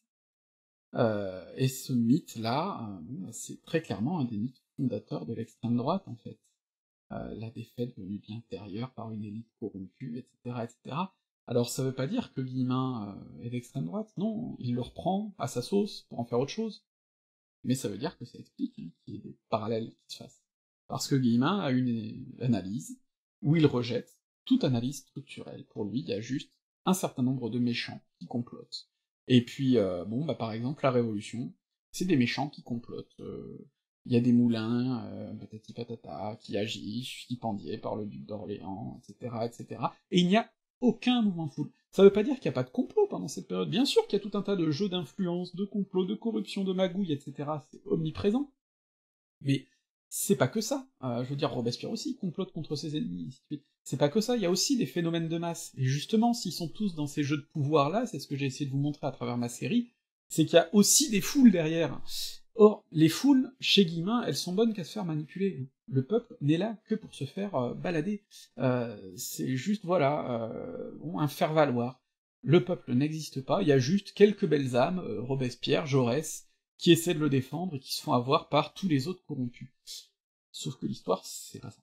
L'histoire, c'est beaucoup plus compliqué que ce récit un peu satisfaisant, et je crois que si Guillemin est aussi facilement récupéré par tous les conspis, c'est parce que ce, ce récit simplificateur est une porte ouverte vers le conspirationnisme. Et on le voit aujourd'hui, euh, tout pareil, notamment vis-à-vis de la crise sanitaire. Et on voit avec quelle facilité certains, à gauche et à l'extrême gauche, sont prêts à s'allier objectivement avec euh, des potentiels fascistes, en fait, hein, euh, des eugénistes, les, parce que, bah, simplement, ils partagent une colère et que du coup, leur subvertivité suffit. Euh, or, le fait d'être euh, subversif et d'être réuni par la même haine du pouvoir ne suffit pas à faire en fait une cause commune. Le boulangisme notamment l'a bien prouvé, je vous renvoie à ma vidéo sur le sujet. En général, quand l'extrême gauche s'allie avec l'extrême droite, ça se finit mal. voilà. Au mieux, ça se finit mal pour les deux, euh, au pire, ça se finit mal uniquement pour l'extrême gauche, donc euh, vaut mieux faire gaffe quand même. et puis plus largement, éthiquement parlant, c'est pas sain. On a pour devoir, je pense, en tant que personne qui nous apporte des connaissances, des sources de réflexion, des pistes de réflexion, vous pousser à aller plus haut plutôt que de vous satisfaire de, récits bateaux, manichéens, stupides. Euh, et donc moi, c'est tout ce que je ne veux pas faire, en fait, ce récit bateau, manichéen, stupide. Et du coup, ben oui, euh, je suis de plus en plus sévère vis-à-vis de l'humain aussi parce que je vois les conséquences délétères que ça a. D'autant que le récit conspirationniste, c'est un récit inoffensif. C'est un récit inoffensif parce que, finalement, dans Guillemin, il y a cette idée que euh, ben, les élites gagnent toujours, ils arrivent toujours à retomber sur leurs pattes. Même quand le pays perd, bah, de toute façon, c'est eux qui l'avaient prévu. Ou puis quand le pays gagne, c'est eux aussi qui l'avaient prévu. Dans tous les cas, à chaque fois, ils gagnent. Ils s'en sortent. Ils réussissent à éliminer les quelques belles âmes parce qu'il y en a pas assez. C'est un récit qui est flatteur pour nous autres, les belles âmes, justement. Surtout que Guillemin, comme je vous l'ai dit, euh, socialement, c'est pas le dessous du panier. Euh, c'est un gars qui a bossé dans une ambassade, euh, qui meurt dans sa résidence secondaire à Neuchâtel tout en ayant sa belle petite maison à Mâcon aussi. C'est quand même pas un prolo, Guillemin. voilà, il a une carrière d'universitaire avant ça, en littérature. C'est quelqu'un qui est bien établi les gens de bien, les gens qui ont du bien, il en fait partie. Voilà, et de la même manière que moi, euh, je serais ridicule si je me faisais passer pour un prolo. Ben non, moi effectivement, je vis dans un logement social, j'ai pas de revenus réguliers, principalement parce que j'ai essayé de fuir euh, effectivement le monde du travail. Euh, mais je peux pas me poser comme un prolo, un pauvre gens. ben non, j'ai une belle bibliothèque à côté de moi quand même, bien fournie, comme Guillemin d'ailleurs. Euh, j'ai une profession intellectuelle ultra précaire, c'est vrai, payé, mais je peux pas, je peux pas vous dire euh, que je suis euh, à la porte de la rue là, même si encore une fois j'ai un revenu qui est très précaire et tout ça, bon, j'ai une situation, par ma situation familiale, à la vie de couple et tout ça, qui fait que je m'en sors. Pas, je roule pas sur l'or, mais je m'en sors. Je peux pas prendre ma casquette de prolo et vous dire ah euh, oui euh, l'usine formidable etc euh, les, les, les, petites gens sont les seuls qui disent la vérité déjà c'est pas vrai et en plus ce fantasme du prolétaire glorieux en général on le trouve dans la bouche de gens qui n'ont jamais mis les pieds à l'usine je serais d'une hypocrisie folle si je faisais l'éloge des, petits travailleurs du bas qui ont la belle vie enfin une vie brave et pure et tout ça alors que je, n'en suis pas et que je ne connais pas ce qu'ils vivent euh, ce serait d'une hypocrisie dingue. Et bon, bah, Guillemin, c'est un petit peu pareil, c'est-à-dire que très bien que dans, une révolution prolétarienne, euh, Guillemin, il finirait probablement très vite du mauvais côté de la barricade, en fait. Même s'il est très sincère dans son constat de l'injustice, comme je suis très sincère dans mon constat des injustices actuelles, que moi aussi je veux surpasser, parce que j'y aurais d'ailleurs un, un, objectif, euh, un intérêt personnel bien plus grand que Guillemin n'en aurait eu. Euh, mais il, n'empêche que voilà, et donc l'approche manichéenne comme ça, elle permet de se dire ah c'est à cause de tous ces salauds, moi je suis un gars bien. Euh, et ça permet du coup, c'est sûrement aussi pour ça que il y a, des gens, enfin, le, conspirationnisme euh, tire beaucoup du côté de, gens qui sont aussi issus du petit patronat, de ce genre de choses, voire d'ailleurs du gros patronat, de cadres supérieurs et tout ça, parce que ça, ça permet de se, remettre du bon côté de la barrière dans ces luttes sociales, finalement. De se dire, c'est pas moi l'exploiteur, je suis plutôt du côté de l'exploité quand même. Euh, je suis plutôt du côté des victimes que des puissants, et ainsi de suite, donc c'est aussi ça une des racines du conspirationnisme, et c'est aussi ça sur quoi il faut faire un peu son autocritique, je pense, là-dessus. Donc c'est pour ça que moi je, ne veux pas nager là-dedans. Et alors, euh, pour en revenir à mon positionnement par rapport à Guillemin, ben, je dois lui être reconnaissant pour plein de choses. Ma chaîne n'existerait peut-être pas sans lui, en fait. Euh, en termes de format, il m'a donné une aisance monstrueuse, parce que, comme je disais tout à l'heure, il m'a montré qu'on peut parler d'histoire euh, de façon austère et vous intéresser. Ça, on peut lui être extrêmement reconnaissant. Et puis Guillemin, bah, c'est un peu ma crise d'adolescence historiographique, d'une certaine manière. Euh, je suis tombé amoureux de lui pendant une certaine période, d'une certaine manière, et en tout bien tout honneur, autour de 2014-2015, justement, quand je commençais à titiller l'idée de faire cette chaîne, j'ai dévoré Guillemin. Euh, parce que d'une certaine manière, bah, je dis que c'était ma crise d'adolescence historiographique, parce que j'étais en fin de doctorat, c'est un peu le moment où en plus, moi du coup, j'en pouvais plus, donc il y a un petit côté rébellion contre le père, d'une certaine manière, euh, contre les pères universitaires, le côté ah lui au moins il casse tout et tout, il dit des vérités et tout et tout et tout. Et puis bon, euh, ben forcément, plus j'ai creusé, plus j'ai commencé à me dire ouais, il dit des vérités, mais il dit surtout beaucoup de conneries. et plus il parlait de sujets que je connaissais, plus je me rendais compte qu'il en disait des conneries quand même. Donc il y avait ça. Mais malgré tout, il avait un discours qui me plaisait, et c'est pour ça peut-être que je suis plus violent vis-à-vis de lui, parce que ben il y a ce côté euh, amour déçu d'une certaine manière, il y a la déception qui est violente. C'est pour ça que je veux pas être votre gourou d'ailleurs, parce que je sais que le jour où je vous décevrai, et forcément qu'un jour je dirai des choses qui vous plairont pas, et eh ben euh, vous le vivriez d'autant plus fort euh, si j'étais votre gourou, si jusqu'à présent vous aviez bu toutes mes paroles sans sélectionner. Donc, euh, moi, je, comprends bien aussi pourquoi je vais éviter de devenir un guillemin, parce que je veux pas que vous réagissiez vis-à-vis de moi comme moi je réagis vis-à-vis de guillemin. Donc, il y, a tout ça là-dedans. Et, euh, et, donc, oui, euh, guillemin, pour moi, c'est un peu ce, genre de, crise d'adolescence. Sauf que la crise d'adolescence, bah, souvent, quand on gueule contre ses parents parce qu'on est révolté par des injustices réelles et tout ça et tout ça, eh bien, oui, mais c'est un peu stérile. bien souvent, et euh, grandir, c'est réussir à trouver l'équilibre entre ne plus être dans la colère stérile qui ne mène pas à grand chose, enfin sans pour autant oublier les injustices, sans pour autant fermer les yeux, et trouver cet équilibre, mon dieu que c'est compliqué, parce que, euh, ben oui, c'est sûr, euh, quand on essaie d'avoir un discours plus nuancé, plus mature, on peut très vite se dire ah mais est-ce que je ferme pas les yeux sur mes combats?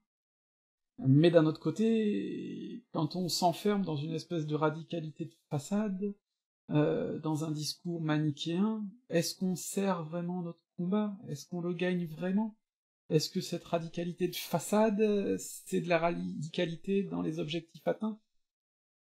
Eh, Ce sont de grosses questions, et j'ai pas de réponse. Et, euh, comme je vous ai dit, de toute façon, l'œuvre d'un individu, on l'évalue euh, sur sa vie, parce qu'il y a des changements permanents, et qu'il y a des inégalités dans notre œuvre, et que bah, peut-être qu'il y en a parmi vous qui regrettent euh, l'Histonie des débuts, qui était peut-être un peu plus manichéen d'ailleurs, un peu moins rigoureux aussi, euh, et peut-être qu'il y en a d'autres, j'espère de plus en plus nombreux d'ailleurs, euh, qui au contraire, comme moi, euh, apprécient de plus en plus ce que je fais, parce que c'était quand même le but. Et puis bah, peut-être que euh, dans 20 ans, si je suis encore là, je serai plus nuancé encore, que j'espère en tout cas je serai plus rigoureux encore, ça c'est sûr, euh, plus sage encore, ça je l'espère, euh, mais j'espère malgré tout que j'aurai pas perdu mon indignation contre les injustices, dont à l'heure actuelle de toute façon je suis aussi en bonne part victime quand même, et que je ne serai pas retiré dans un bon vieux pantouflage. Euh, et j'espère que j'aurai pas de résidence secondaire à Neuchâtel d'ailleurs. Donc voilà, euh, c'était une vidéo qui parlait de Guillemin, mais qui parlait surtout beaucoup de moi.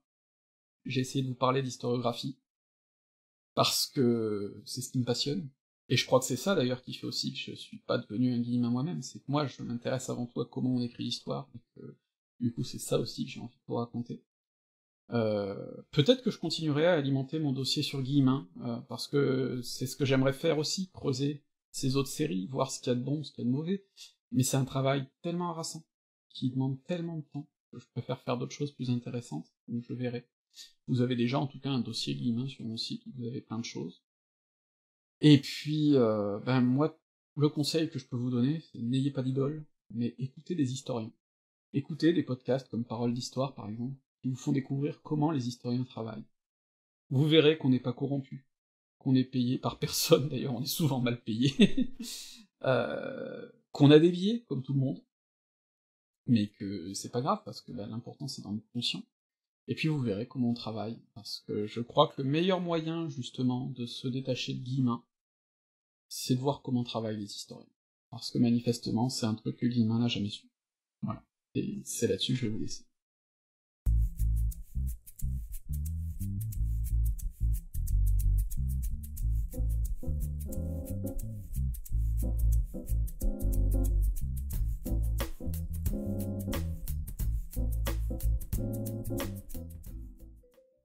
Il y a d'ailleurs un peu plus de mise en scène dans tout ça. Merde.